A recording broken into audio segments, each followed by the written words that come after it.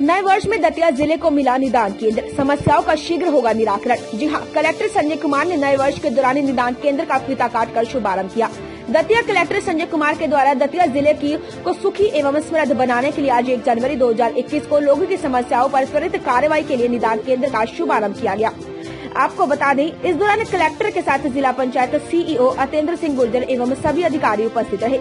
पत्रकारों से बात करते हुए जिला कलेक्टर संजय कुमार ने बताया कि निदान केंद्र से उन लोगों को सहायता मिलेगी जो घर से निकलते हैं और पूरा दिन अपनी समस्याओं के लिए निराकरण के लिए कलेक्ट्रेट में घूमते रहते हैं, जिसका मुख्य उद्देश्य लोगों की समस्याओं पर शीघ्र ही कार्यवाही हो, जिससे इन लोगों का समय भी बचेगा और इनकी समस्याएँ भी दूर होंगी और आगे इस निदान केंद्र को और भी मजबूती प्रदान करने की प्रक्रिया चलती रहेगी। दूर दराज से आने वाले शिकायती आवेदनकर्ताओं को फ्री कूपन भोजन का पैकेट भी दिया जाएगा।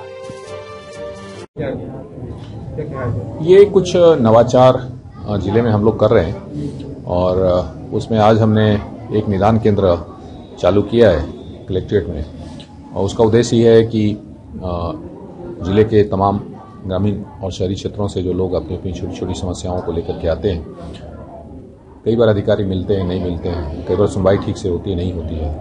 तो एक सुनिश्चित सुनवाई का, समाधान का एक केंद्र की तरह उनको एक जगह मिले।